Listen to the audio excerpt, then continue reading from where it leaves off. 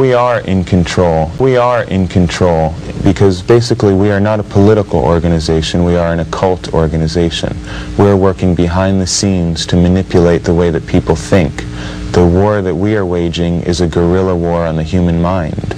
And we use musical frequencies, the dominant frequency, which I've referred to before, and symbolism and imagery to awaken dormant aspects of the human mind. And symbolism and imagery to awaken dormant aspects of the human mind. What we're waging is a cultural war right now on every front, in music, in literature, utilizing the media against itself. We're using music because that's the, that's the instrument that young people respond to right now. We're doing propaganda directly to awaken the wolf in man. We are in control and symbolism and imagery to awaken dormant aspects of the human mind. Politics is merely the puppet show of human beings and we transcend that, but we are interested in the control of human beings for our own purposes. We are in control and the wolf represents the beast in man that's what we seek to unleash in humanity because it's been repressed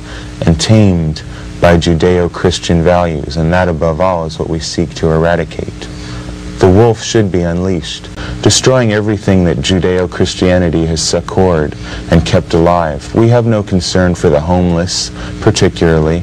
We don't have any concern in helping people. As Adolf Hitler said, we seek to bring about a youth that has closed its heart to pity, all of the humanist values that Judeo-Christianity has encouraged, we want to wipe them out. It's led to democracy, social humanism, the idea of equality.